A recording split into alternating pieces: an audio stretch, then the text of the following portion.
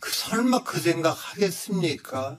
그러니까 지금 실제 세상이 다르면 인지 부조화에 누구나 빠지고 그런 거이 불편한 건데 지금 그런 상태일 거라고 보거든요. 예. 본인이 생각하는 그 믿고 있는 세계와 지금 현실 세계가 좀 다르게 돌아가고 있으니까 약간 여기서 불편함을 느낄 수는 있는데 예. 저는 어쨌든 대통령이나 대통령실 당 여기 주변에서 이 현실 인식을 정확히 하는 게 저는 그게 좀 핵심 아닌가 좀 봅니다. 그러니까 대통령이 뭐 획기적으로 태도를 바꾸지 않는 한 음.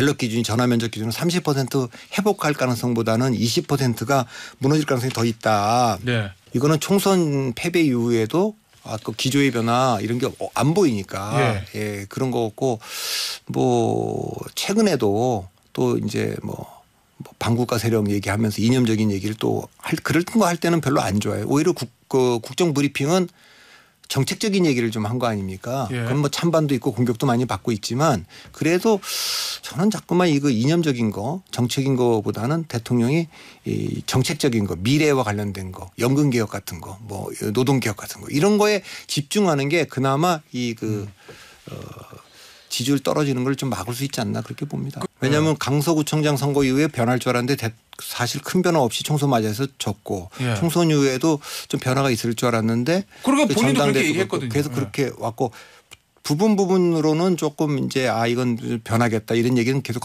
했어요. 예. 근데 그 잘 안 되는 거 보면 제 느낌으로는 예.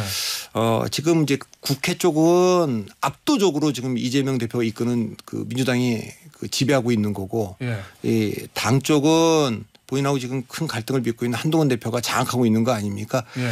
이게 현실인데 어. 이 현실을 아직까지는 대통령이 안 받아들이고 있거나 못 받아들이고 있는 게 아닌가. 음. 그 현실을 받아들이면 야 내가 이제 앞으로 연구 4대 개혁이죠. 그 개혁에다가 이제 그 의료 개혁까지 들어와 3대 개혁에다 의료 개혁까지 들어 4대 개혁을 하려고 하는데 예. 이거는 야당의 협조 없이는 안 된다. 현실적으로. 야당이 뭐 표를 다 갖고 있으니까 의석을 갖고 있으니까 그럼 내가 이거를 레거시로 남기려면 내가 야당하고 좀 타협을 해야겠다. 어허. 이 판단 해야 될 것 같아요. 예. 그리고 당 쪽도 이제 한동훈 대표 체제로 넘어갔고 차기 대권자들의 경쟁으로 넘어갔기 때문에 이거는 뭐 당은 당의 길을 가고 예. 또 나는 확실히 좀 그 한계가 있다 영향을 미치는데 총선도 끝났고 그러니 뭐 내 영향력은 한계가 있다. 이걸 받아들이면 저는 그 이재명 대표의 관계나 한동훈 대표의 관계가 조금 더 여유 있게 풀릴 것 같은데 아직까지는 예. 어 조건은 계속 변하고 상황은 계속 변하는데 마음은 계속 안 변한 것 같은 느낌. 그러면 그 설마 그 생각 하겠습니까? 그러니까